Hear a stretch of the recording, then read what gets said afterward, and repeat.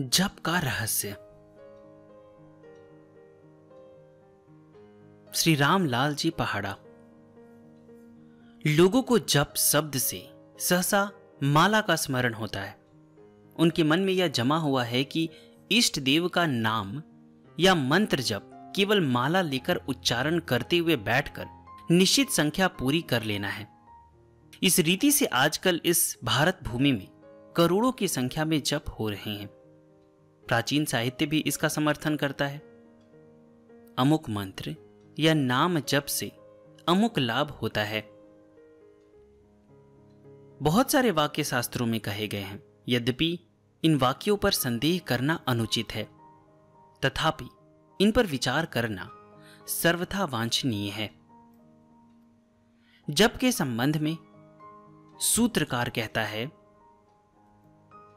जिन इष्ट देव के नाम का या मंत्र का जप किया जाए, उसके आशय, हेतु या प्रयोजन का भी विचार किया जाए। माला लेकर मंत्र का या नाम का निश्चित संख्या में उच्चारण करना एकांगी जप है। संभव है इस विधि से कालांतर में चित्त एकाग्र होकर विचार मग्न होने लगे। इस प्रकार निर्मल विचार से चित्त का शुद्ध होना सहज है। शुद्ध चित्त में इष्ट देव का ध्यान सुगम हो जाता है। ध्यान द्वारा इष्ट देव की कृपा पाना संभव है। यदि जब करते समय अर्थ की, यानी हेतु, आशय, प्रयोजन की भावना नहीं रही तो बहुत देर से फल होता है। इस भावना पर चित्त को जमाना ही यथार्थ ढंग है। यह सात्विक कार्य है।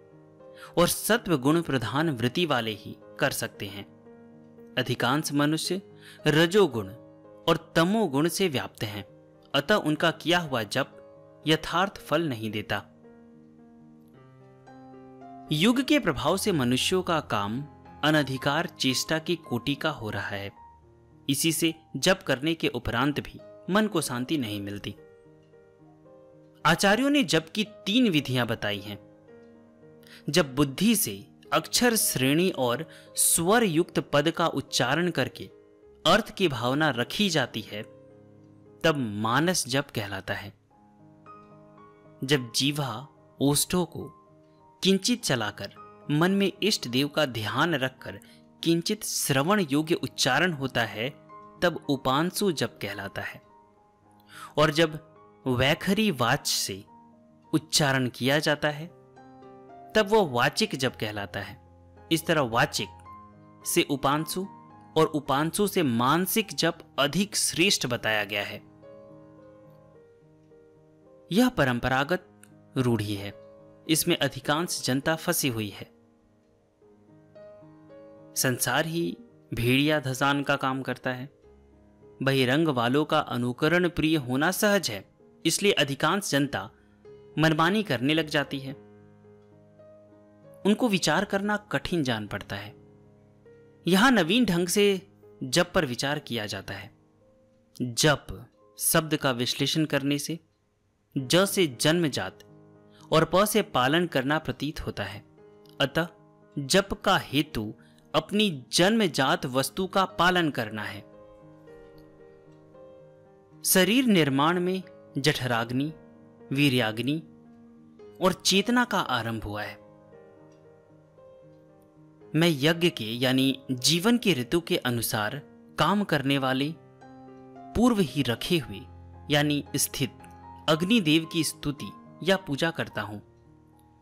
वह आवश्यक सामग्री, यानी आहुति डालने वाला और रत्न, यानी श्रेष्ठ वस्तु धारण करने वालों में सर्वोत्कृष्ट हैं। हमारे शरीर में अग्निदेव तीन रूपों में पूर्व ही स्थित हैं। आयुर्वेदानुसार खान पान को शुद्ध रखकर, जठराग्नि का संयम, नियम या ब्रह्मचर्य से, वीर्याग्नि का और ईश्वर अर्चना से, ध्यान या स्व अध्याय से ज्ञानाग्नि का संरक्षण करना चाहिए। इनका यथोचित संरक्षण करना ही जप का ठीक ढंग होगा। जप में निरंतर स्मरण करते रहना आवश्यक है। और भावना के प्रतिकूल कामों को सर्वथा छोड़ देना। यदि बालकों को कुछ वस्तु, जैसे पुस्तक, कलम, पट्टी, कॉपी, कुर्ता, चप्पल आदि, लाने का वचन दे दे तो वे उस वस्तु का निरंतर स्मरण करते और माता पिता को तंग किया करते हैं। उनको तो उस वस्तु की लौ लग जाती है। मानो वे उस वस्तु का जप करते हैं। यद्यपि यह निकृष्ट जप है, तथापि विधि ठीक है। इसी लौ से हमको अपनी पूर्व स्थित तीनों अग्नियों का संरक्षण करने में सचेत रहना चाहिए। इस अग्नियों के सिवा शरीर रचना में पंच महाभूत तत्व भी उपस्थित रहते हैं। प्रत्येक तत्व अपने गुण का अधिष्ठान है। पृथ्वी में क्षमा, जल में नम्रता, शीतलता, अग्नि में शुद्धता, वायु में अनासक्ति, गतिशीलता और आकाश में निर्लेपता है। ये सब हमारे शरीर के साथ ही उत्पन्न हुए हैं। नहीं, इनका मिश्रण ही हमारा शरीर है। अतः इन गुणों का विकास करना आवश्यक है। विषयों में फंसकर इन गुणों को दबा देना ही दुखों और व्याधियों का कारण हो जाता है। इनका संतुलन रखने से मनुष्य का मन स्थिर होकर काम करता है। इन्हीं तत्वों से ज्ञानेन्द्रियों और कर्मेंद्रियों का आविर्भाव हुआ है। इन तत्वों का संतुलन रखने से इंद्रियाँ संयमित रहती है। इंद्रियों के संयम से मन में प्रसन्नता आती है। प्रसन्नता से सब दुखों का नाश हो जाता है, क्योंकि प्रसन्न चित्त से बुद्धि स्थिर होती है और मनुष्य सुखी होता है। जप में अर्थ की भावना से हीन मनुष्य का मन अशांत रहता है। अशांत कभी सुखी नहीं हो सकता। तीनों अग्नियों का संरक्षण करके, पंच तत्वों का संतुलन रखकर, जीवन निर्वाहार्थ काम करते रहना जीवन उपयोगी जप है, जो निरंतर करने का है।